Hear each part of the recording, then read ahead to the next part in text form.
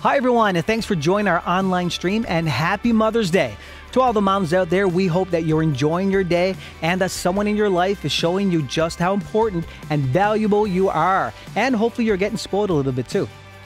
Today is our Mother's Day theme service, and we want to take the next little while to highlight mothers and encourage them.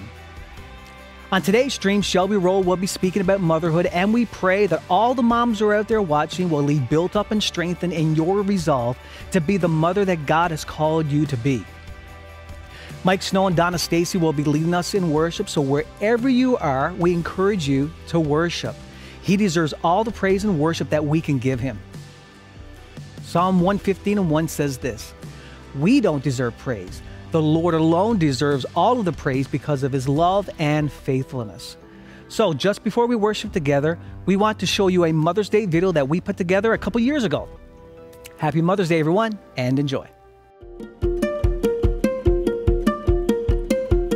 Okay, so sit nice and still. There you go. And look at Pastor C and me. So you guys know that this Sunday is Mother's Day, right? Yes, yes. So I'm gonna ask you. And then it's gonna be Father's Day. and then it's gonna be Father's Day. You're right. So I'm gonna ask you some questions about your mom, okay? You tell us about your mom, And we didn't know what to give our dad. didn't you? A, you a big barbecue. A big barbecue. Well, you got lots of time to think about because Father's Day is not Yes. soon, right? I know I'm gonna buy it for for Daddy. Yeah. Yeah. Okay, I'm gonna ask you some questions about mom now. Okay, ready? I know what I'm gonna give Dad. A jackhammer. A jackhammer. I'm gonna give Daddy a radio. Yeah, so But we all we- gonna can we we already got a song radio. really? It works. We already have one. You have you roll the thing like this, Yeah. and then the song tunes on. Seriously? So we're gonna ask you some questions about your mom. We're gonna let it be a surprise for our A couple questions. Yeah, a couple questions. You okay with that? Yeah. Okay. I got a flower. oh, it's been constant. Okay. Come on, something. Okay.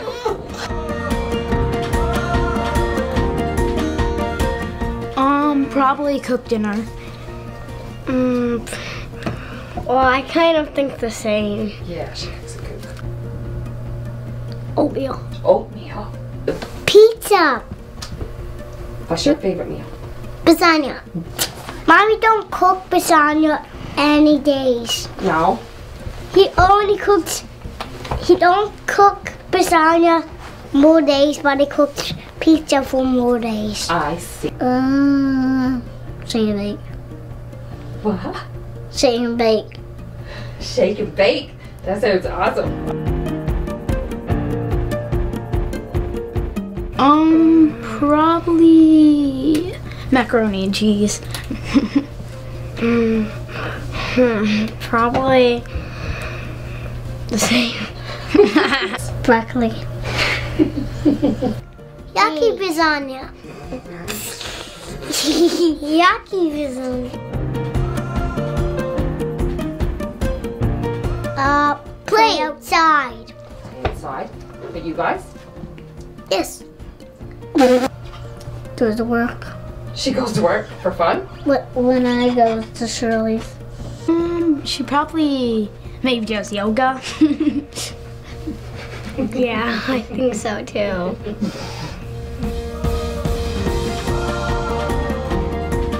I'm probably going on vacation because she's really um uh, like happy and when she's on vacation, like usually. yeah, I do the same. Uh, planting seeds. And caring for mommy. And I gotta give him a second egg with the dog shakes. And when it shakes, you gotta go back to the beginning Yeah. and start again. And you love playing that with your mom? Yeah. Yeah. And my dad. And your dad. Cool. Awesome. Well, when I went to Florida one, like a long time ago. Yeah. You had fun in Florida with mom? Yeah. What'd you do in Florida? Um, What made Florida so fun? building the sandcastles. We went to Florida two times actually. Did you? Yeah. Yeah. And you built sandcastles both times? No. Just one. Okay.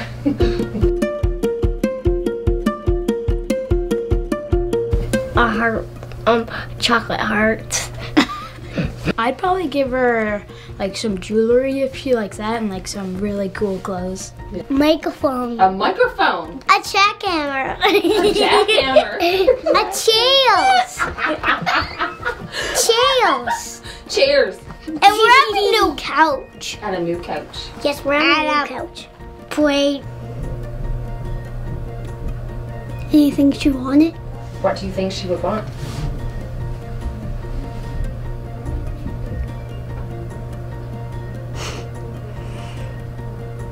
Roses? Roses. You buy a million roses? Yeah. Yeah. Where would you put them all? Well, she do have a lot of roses. I know enough for that. Yeah. I got a McDonald's card that I can buy something with it. A credit card. A credit card from McDonald's. Or you you just buy her a credit card, would you? No, Walmart. Walmart. You would buy her a Walmart credit card?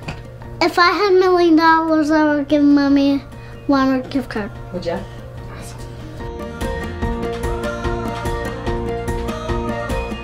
Beautiful. She's beautiful. Yes. She prays with you. Yes. Yeah. And toys. She gives you toys. Yes. but we have enough toys now, Judah. Yeah. No, I got to Because they get money for me. Oh, okay, she's so kind to me. Oh. I love everything about my mom.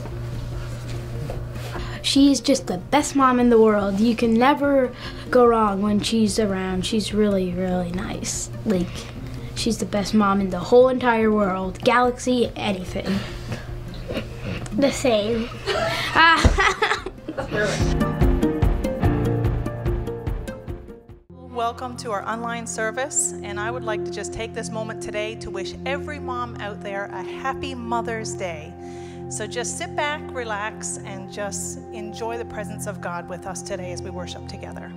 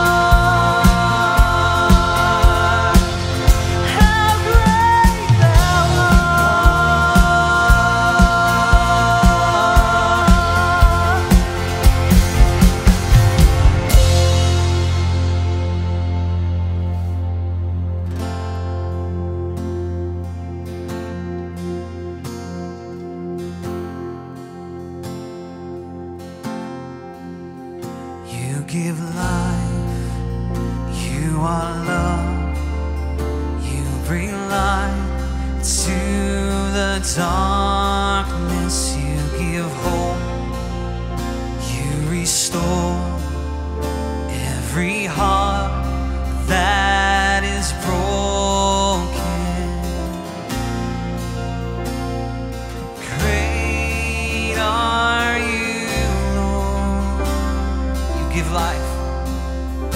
You give life. You are love. You bring light to the dark.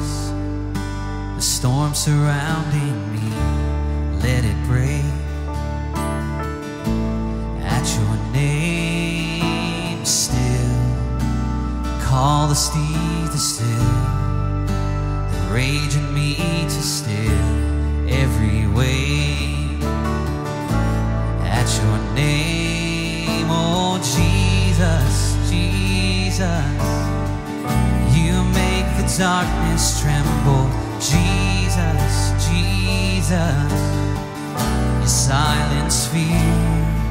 Oh, Jesus, Jesus, you make the darkness tremble. Jesus, Jesus.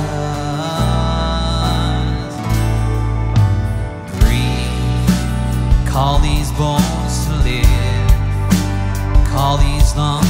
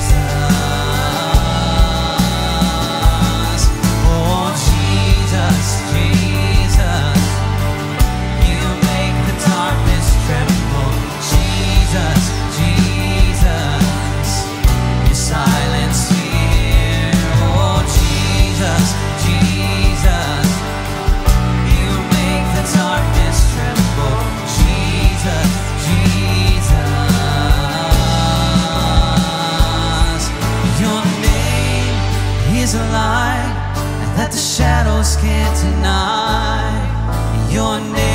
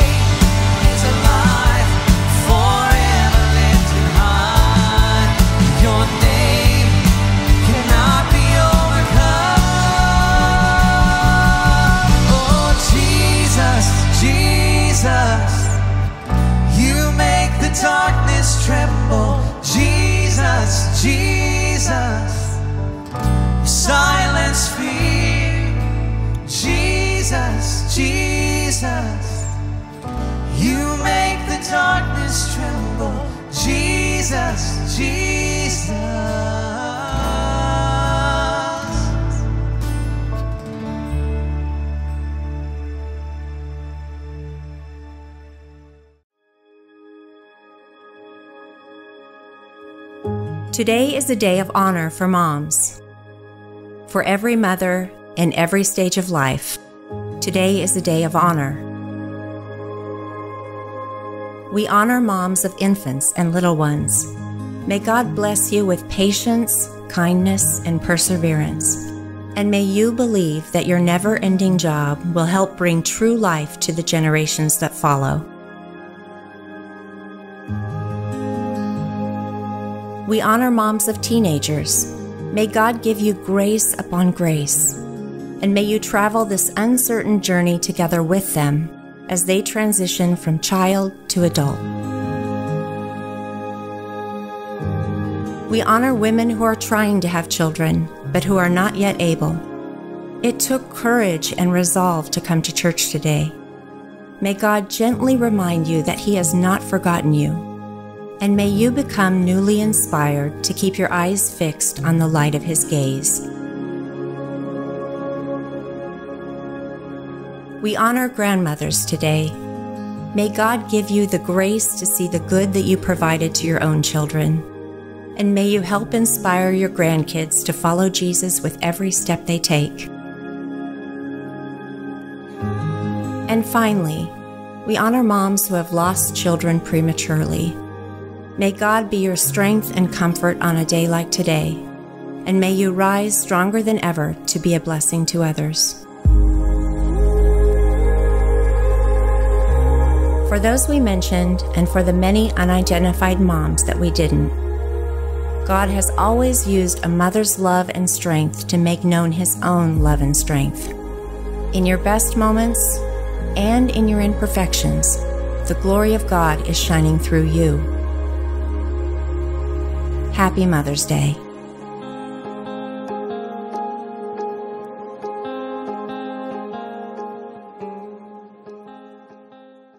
Good evening, church, and happy Mother's Day to all you moms, grandmas, honorary moms, stepmoms, foster moms, and to all you who played mom roles in different people's lives. First of all, I want to put out the disclaimer before I share with you. I am far from a perfect mom, and I'm not even a well experienced one. It was just over two years ago that I became a mom to a sweet little girl, and now we are expecting our second baby, a little boy, at the end of August. My journey of motherhood and what it has looked like so far is nothing close to a perfect Instagram family or even a sappy or memorable Facebook post. Generally, if you see my child running around, and she is running, I hope that she's clothed because often she's not fully. And she's usually sporting her favorite uh, stain of food that she had that day, marker she was playing with, paired with a couple cuts and bruises and this and that. Really could be anything. And that's just her. Our house is what we like to call well lived in, which just means that it's a mess and there's lots of unfolded laundry. And I can't care that much about it. And as for myself, I do not typically look like this, not just because of a pandemic or anything like that, but it's just because taking the time to get ready usually means a disaster in my house or someone going to the ER or something flooding. And you know what? That's just what being a mom has been in my life so far. it's been messy, it's been imperfect. But I just want to take a couple minutes to share with you about some of the truths God revealed to me when I first became a mom that have become so relevant every day since. My journey to motherhood was not boring. And when I became a mom, it was no exception. Throughout my labor, I did a lot of thinking. And that's what you do when you stay up for five days straight, timing contractions and weathering the storm and waiting for that precious baby to come. I wanted to remember what I felt and what I was thinking, and more importantly, how on earth I was going to get through this and live to tell the tale. There was no book, there was no story, there was no experience, there was no advice anyone shared with me that helped me in those moments. I was completely bewildered and lost for help. And even though my husband was there and he was kind and caring, there wasn't really anything he could do. There wasn't anything really I could do. And I was so lost. And I almost felt lonely in that moment. But then one night, it was the first night, there were many nights to follow this in the waiting. God reminded me of some of the scriptures I had read leading up to this. And He reminded me that He created me to do just this. That this was actually a natural part, and that, you know what? Even though I was feeling so lost and so out of control. He was in control. So in that moment, I just took a deep breath And it was a moment of peace. God had this. I just had to lean and depend on Him in every single moment, in every single breath, and every single anxious thought until I got that baby girl. And I just said, you know what? Jesus, you take the wheel. You can do this. You'll get me through. And He did. And it was full of peace and beautiful moments. What I didn't know in that time was that I was looking at the short game to just getting that baby girl. But God was looking at the long game, and He was preparing me for exactly what I needed to be a good mom. Someone told me I had everything I needed already inside of me to be a good mom when I was pregnant. And I was like, You have no idea what you're talking about. And she said, Don't listen to all that wonderful unsolicited advice that you get. I was like, but I need it. I have no idea what I'm doing, and I'm trying not to freak out because my husband is probably more freaked out than I am because he hasn't even changed a diaper before. But what she was talking about, I realized quickly, wasn't the experience that I had going into it. See, we're not supposed to know. You know, you're not supposed to know how to parent. The most natural part about all of it is probably the giving birth part. People do that in their cars. God made you for that. That comes naturally. But the parenting part, every day after, is what we're not supposed to know so that we depend on God. And that's just what she meant. She didn't mean that I had read everything, which I had, and that I had listened to everything everyone told me, because I took notes. It was just that I had my faith, had God in me, I had eternal purpose, and that I could solely depend on Him in every moment. I wake up most days and I'm completely uncertain about what to do with my daughter and what we're going to face and how to help her grow and how to help her learn that she's God's. And you know what? He reminds me that I don't have to follow the plans on Pinterest. And I don't have to do what everyone else is doing and posting, which we see a lot during this pandemic. See that comparison? That kills the joy of being a mom. But depending on God is not disappointing. He leads you in that perfect path of how to be a good mom how to be compassionate, how to love your kids. Because the thing is, is that the pressure of being a mom and raising a godly child is huge some days. And I'm like, I should know how to do this because I'm her mom and I held her for nine months inside of me and I even got the head start. I should know. And I love Jesus, so I should know. But Psalm 139 13 says, For you created my inmost being. You knit me together in my mother's womb. And it was then that I realized that she wasn't really mine. He created her in me. He used me, and I was a vessel for His purpose, for her life. And so every day to be a good mom, I had to depend on Him. I have to continuously give her back to Him because sometimes it's easier to follow the plan that someone else set out for you because depending on God means we need the new mercy every day. We need to spend time and listen to Him every single day. And being a mom, that's really hard to do because there's not a lot of time you get to yourself, no matter what stage you're in. And there's not a whole lot of quiet and there's not a whole lot of peace. but it's just that depending on God is perfect. He never lets you down. He always has the right direction. And guess what? He knows your kid better than you do.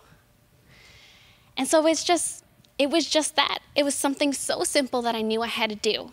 Was just to depend on God every day like I had no idea, which was easy to do because I still have no idea. but every day I can get up and I can rely on Him. And it even says in Proverbs 3 5 to 6, it says, Trust in the Lord with all your heart and lead not on your own understanding. In all your ways, submit to him, and he will make your path straight. Moms, you don't have to re- rely on your own understanding or anyone else's. You just have to rely on his and the path of being a mom and being a parent, and no matter where you are in that season. He will keep you straight on the path. He will keep your life and your family growing for that eternal purpose that dependency on Him has got me through the highs and lows already. and it's one that has grown. And you know what? His perfect provision is what makes me a good mom. It's not in what I know, but it's in who I turn to. And you know, even those were the days leading up to and when they finally placed that perfect little girl in my arms. The love that everyone tells you that you experienced that's huge. It was bigger than what I even thought. I was overwhelmed and it was so perfect. And in that moment, God spoke to me and He said, If you can love her so much on this earth, how much more do I love you? And this was the second thing that God revealed to me when I became a mom that I hold tight to every day. The love that we have is the love that drives every sacrifice you make as a mom of your possessions, of your time, of your sleep, of many, many years, and so many things. Right now, a big thing is my food. I have to share it. It's not that fun. but because I love my kid and I want what's best for her, I do it. And you know, when they're tired, we hold them. When they're hungry, we feed them.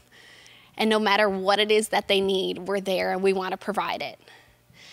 Mom, the sacrifices we pay are huge. And the burdens we carry are bigger than they should be. And sometimes it's so physically exhausting or mentally exhausting or even spiritually exhausting when you just can't seem to get that time with God. I just want to encourage you that how you feel about your kids God loves you that much and more. So when you're tired, He wants to give you a place of rest. When you're hungry, He wants to feed your body and your soul.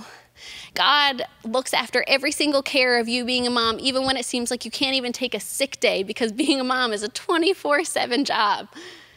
But God looks after you. The love He has for you is so huge. He sees you in every single moment every lonely night feeding that you experienced, any time in which they were gone with friends or you just were, didn't know what to do, or you're waiting for the call after they moved out, wondering when they check in again, and you're just lonely. God sees you in those moments, and He's fully present and fully there to fill you up.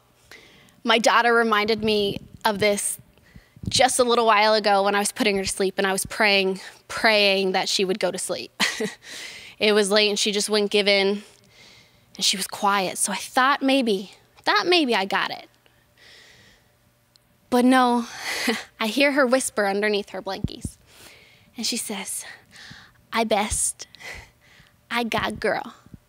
She said, Mommy blessed. Mommy God's girl. And you know what? she took me right back and she filled me for what my tired body and soul needed at that time. I was reminded to the time she was first placed in my arms and the love I had for her. I was reminded of God's love that He has for us and that, Mom, there's someone taking care of you. You are God's child. You're free from all the comparison, you're free from all the burdens that you carry no matter what hat you have on in a day and the task that you fill your time with, God wants to take care of you. And He's there for you to walk you through every single stage of being a mom. God's love and purpose for you in being a mom was not just to do all the mundane tasks.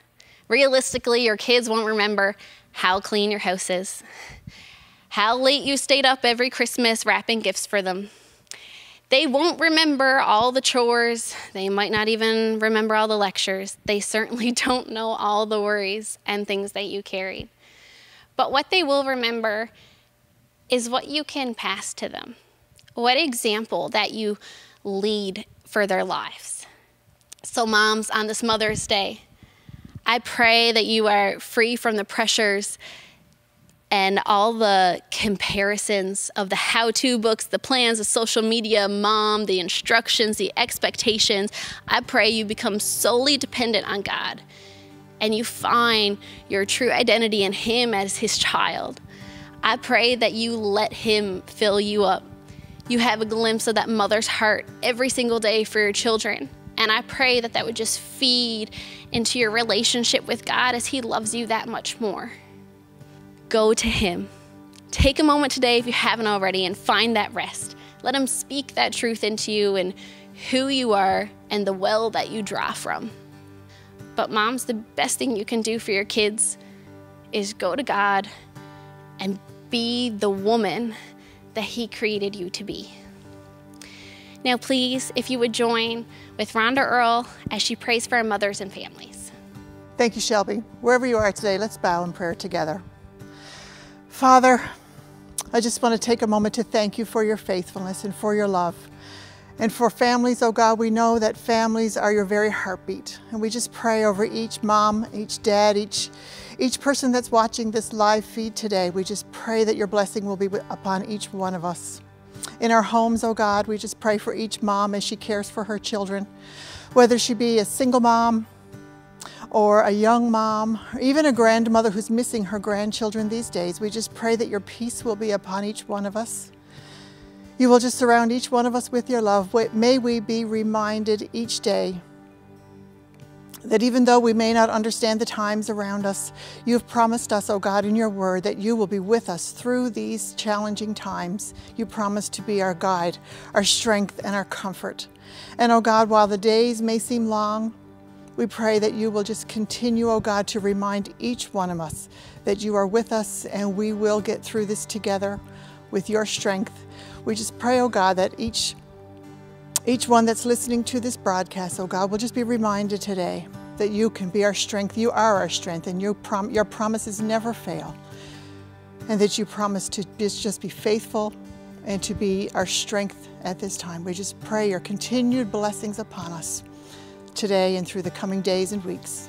We ask these things today. In Jesus' name, amen.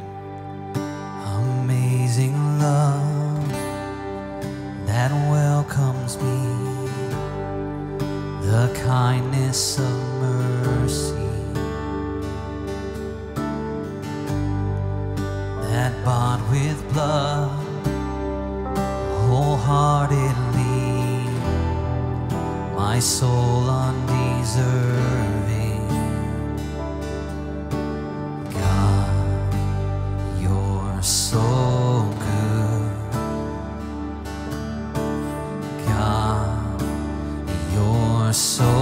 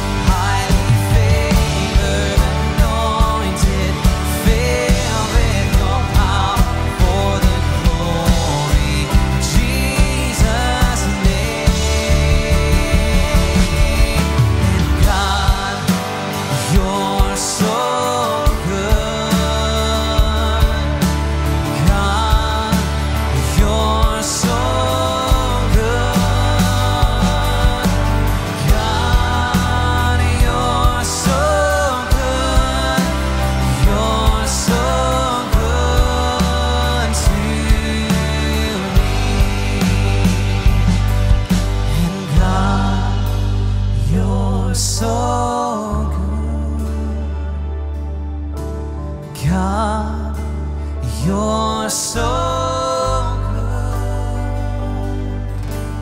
God, you're so good. You're so good to me.